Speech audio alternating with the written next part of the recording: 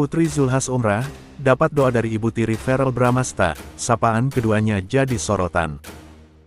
Putri Zulya Safitri atau yang karib disapa Putri Zulhas tengah melaksanakan ibadah umrah. Hal ini diketahui dari unggahan Putri Zulhas di akun Instagramnya seperti dilihat tribunnews.com, Kamis tanggal 18 April tahun 2024.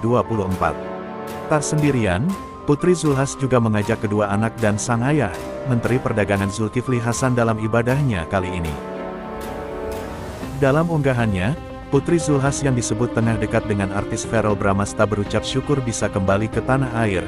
Ia berdoa agar perjalanan ibadahnya mendapat kelancaran dan doa-doa yang dipanjatkan diterima oleh Allah SWT. Alhamdulillah engkau izinkan kami kembali ke rumahmu ya Rab.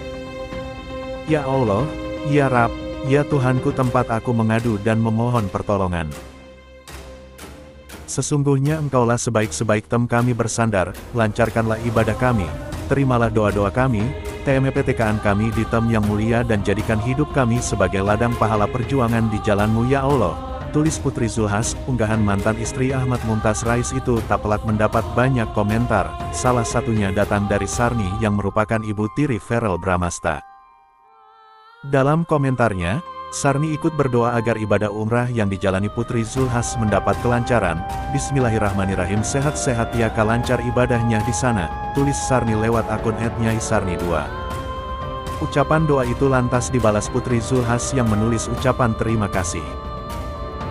Sarni 2 makasih Bismillah Bunda, balas Putri Zulhas. Melihat interaksi antara Putri Zulhas dan Sarni membuat sejumlah warganet ikut berkomentar. Mereka justru menyoroti sapaan atau panggilan antara Sarni dengan Putri Zulhas. Di mana Sarni memanggil Putri Zulhas dengan panggilan, Kak. Sementara Putri Zulhas balas memanggil Sarni dengan sapaan, Bunda. Diketahui, Putri Zulhas dan Sarni memiliki selisih usia yang tidak terlalu jauh yaitu 4 tahun. Sarni yang merupakan anggota DPRD Kabupaten Bogor lahir lebih dulu pada tanggal 16 November tahun 1984 sehingga usia Sarni saat ini adalah 39 tahun. Sementara Putri Zulhas yang terpilih jadi anggota DPR RI lahir pada tanggal 13 Mei tahun 1988 sehingga saat ini, usianya 35 tahun, diketahui, kedekatan antara Feral Bramasta dengan Putri Zulhas tengah menjadi sorotan. Hingga kini, memang belum ada konfirmasi apakah keduanya tengah menjalin hubungan spesial atau hanya sebatas teman.